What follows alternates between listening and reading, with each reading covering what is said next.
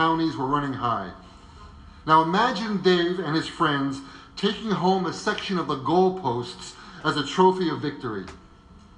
That was a long, long time ago. I tell you. Well, they were set upon by some local toughs. In the evening, an ensuing fight, Dave decked one of them and then experienced revulsion at what he'd done. Here's how Dave explains what happened. The lesson I learned was as simple, direct, and unarguable as the lesson a child learns the first time it puts its hand on a red hot stove. Never do it again. But the pain I felt was a spiritual pain, as if I had suddenly emerged from a fit of anger and realized that I had pressed a child's hand across the stove. I knew that I would never again be able to strike another human being. That moment also showed him something else how sadness and shame can lead to love and change. He stayed with the young man, apologized, and walked him home. As they parted, Dave felt what he called the power of our unexpected and unusual bonding. The impact of that encounter has stayed with Dave throughout his life. Many of us know Dave as an activist dedicated to nonviolence, but the path he took had many turns, and at one point, as a student, he was tempted to pick up a gun. The year was 1936, and he was on his way to Oxford University on a fellowship to get a doctorate. As he recalls it, during the sea voyage, the ship's radio announced that Francisco Franco had launched a military attack on the Popular Front, which had come to power the previous February. Arriving in Spain, he saw the non hierarchical communal settlements established by the front and stayed at the People's University in Madrid. As Franco's soldiers advanced towards the city, he even considered joining the resistance. If his friends were going to die, he thought, he was ready too. He also believed that the help of the communists might lead to victory. But in the end, he couldn't ignore the grim reality. Communists were shooting Trotskyites, and both were shooting anarchists. In fact, while he was in Barcelona, some anarchists even fired at his car. He didn't choose the gun. Instead, he came to a conclusion that has informed his activism for the 65 years since then. He put it this way Whoever won in an armed struggle, it wouldn't be the people. A year later, back in the States, he hit the road.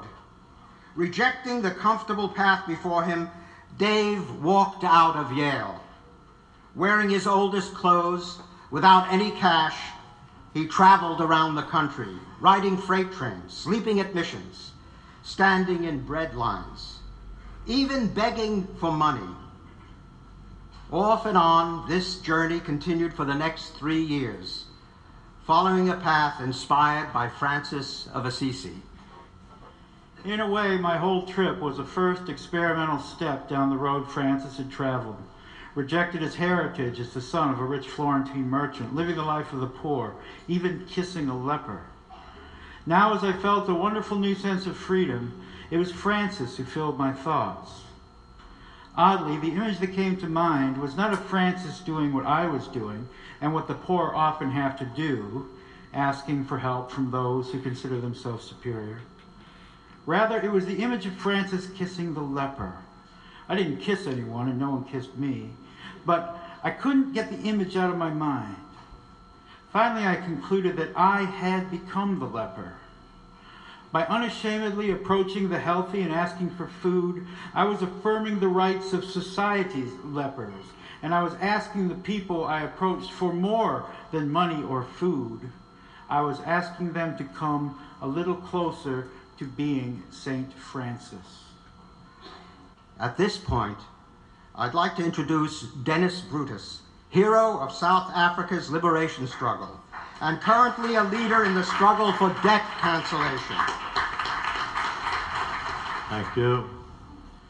We are here this evening to pay tribute to Dave Dellinger and Elizabeth Peterson and their courage and their commitment over the years. And it is a privilege for me to be part of this tribute occasion. I've been associated for many years with Dave and Elizabeth in the struggle from the 60s when I came out of prison in South Africa, where I'd been with Nelson Mandela breaking stones, and where previously I had occupied in Johannesburg the cell that had been occupied by Mahatma Gandhi. And I came to the United States and worked on the civil rights issues, on opposition to the Vietnam War, was allied with Dave in many of these issues. But in addition, we were engaged in a struggle against racism in South Africa, the struggle for the freedom of those who were in the prisons of South Africa. And in that too, Dave and I were allies. And we went on to build a major struggle at the universities for divestment of American banks and corporations in South Africa and succeeded in that major campaign.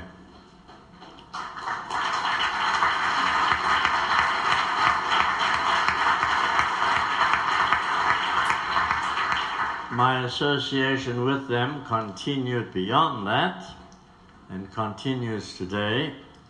And in fact, quite recently, Dave and Elizabeth and I were in Puerto Rico, in San Juan, and went on to the island of Vieques, where I presided over a judicial tribunal condemning the United States Navy, which is still using that island for bombing practice, and indeed has leased the island to the other NATO partners so that they can have bombing exercises there as well.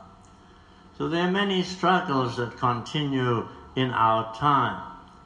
And in fact, I believe that we now need the inspiration and the commitment of Dave Dellinger and Elizabeth Peterson even more because we are confronted in our own time with a new and enormous kind of global challenge. And that is a challenge we must all confront. And so, on behalf of all of us, my thanks to Dave and Elizabeth.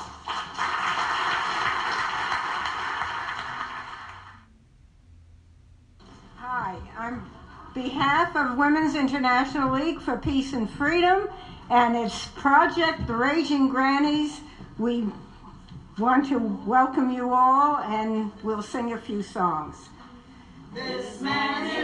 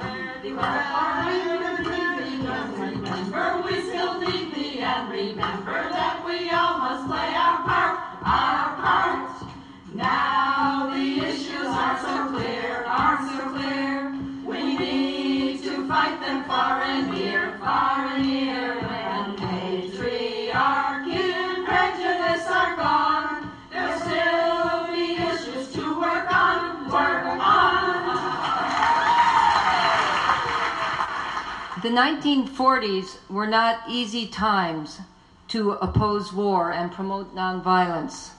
Dave was living at that time and working in Harlem while studying at the Union Theological Seminary.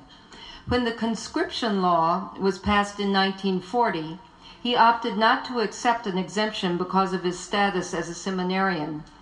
Instead, he and several others refused to register for the draft.